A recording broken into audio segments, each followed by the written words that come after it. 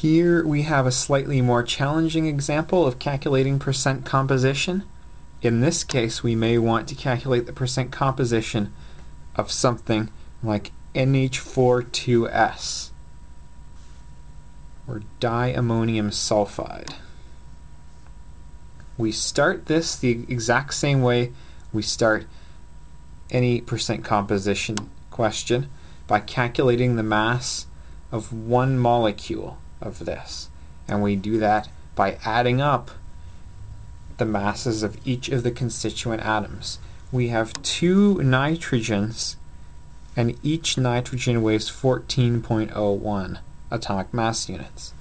We have eight hydrogens, each weighing 1.01, and we have one sulfur, which weighs 32.07.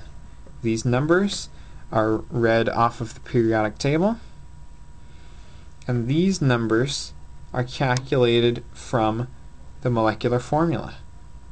Remember that the 2 on the outside of the brackets here tells us that we have 2 of each of these units. We have 2 nitrogens and 8 hydrogens and 1 sulfur. Now to calculate the percentage composition, we simply find out how much of the total 68.17 atomic mass units each element accounts for. Nitrogen accounts for 2 times 14.01 atomic mass units. 2 times 14.01 divided by the total mass, 68.17, gives 0.41103 which is approximately 41.1%.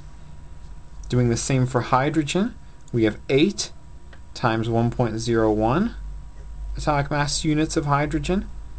The total for the molecule is 68.17. Dividing gives 0.11853, which is approximately 11.9%. And for sulfur, that's 32.07 of 68.17 atomic mass units, which is 0.47044, or approximately 47%.